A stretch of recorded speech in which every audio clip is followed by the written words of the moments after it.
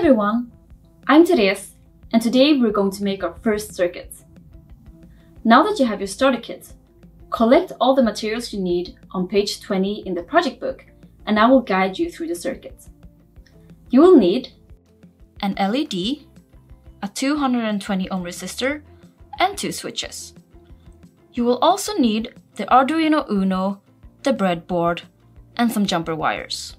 Before making the circuit, there are a few terms that you need to be familiar with. Current, voltage, and resistance. On page 22 in the projects book, there is an example that illustrates how these units relate to each other. Be sure to check that out. The breadboard is where you will build your circuits. You will use it together with the jumper wires to connect your components to each other without having to solder. On page 23 in the project book, you will find a description of it. To make it even more clear, I have removed the sticker to show you how it looks on the inside. Here you can see that there are metal connectors that run in different directions. Your wires and components will be connected to each other in different ways depending on where on the breadboard you connect them. All the holes here on the sides are connected to these metal strips. We often use them to connect our components to power and ground. The holes here in the middle are connected to these shorter strips. A good practice is to make sure that your board is not connected to a power source when creating your circuits. The LED has two legs, a short leg and a long leg. The short leg is called cathode and connects to ground. The long leg is called anode and connects to power. If you're having issues with identifying the short leg and the long leg, you can always look for the flat edge. On your LED, there are usually a flat edge on the same side as the short leg. If you flip your switch over, you will have a clearer view of the legs. These two legs facing each other are actually already connected. The same goes with these two. When pressing the button, all of them will be connected. This is a 220 ohm resistor.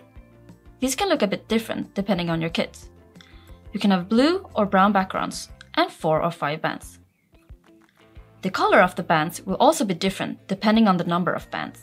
We will talk more about resistors in the next project. And for the jumper wires, they come in different colors, but it doesn't really matter which one you use. They just have the different lengths. A good practice is that we use the black wire for ground in the book and the red wire for power. In this project, we will only use the computer to power the board. Let's start the project. If you haven't assembled your board to the base yet, you can do that now following the instructions on page 12. So now I'm gonna do the first circuit on page 26. I will start with taking a jumper wire and connect it from the 5 volt pin to this line on the breadboard. This will give the entire line power from the 5 volt pin. Then I need the switch. So just make sure that you place the switch correctly according to which leg is connected with which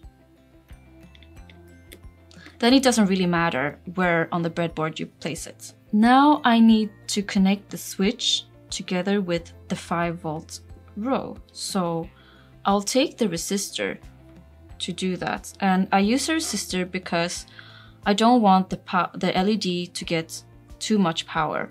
Too much power to the LED can damage it.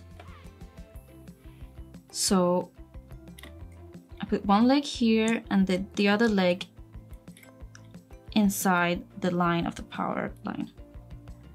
So now this side of the switch is connected through the resistor to power. Then I also want the LED. Now I have to remember that the long leg goes to the power side and the short leg goes to the ground side.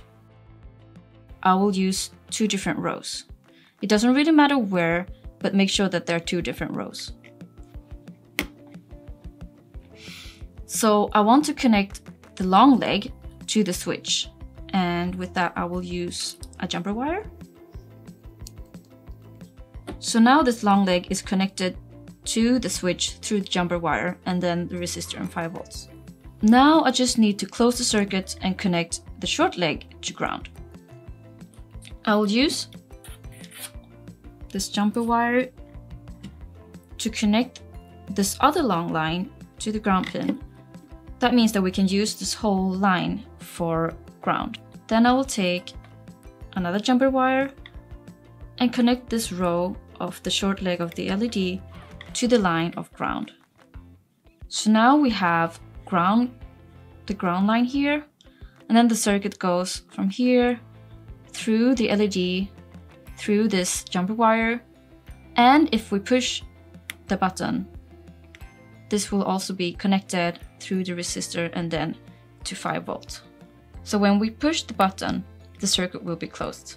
So I'll take the USB cable that is connected with one end to my computer and the other end I will connect to my board. The computer will make a sound when attaching to the board. If I press this button, the LED will now turn on since I'm closing the circuit with the switch.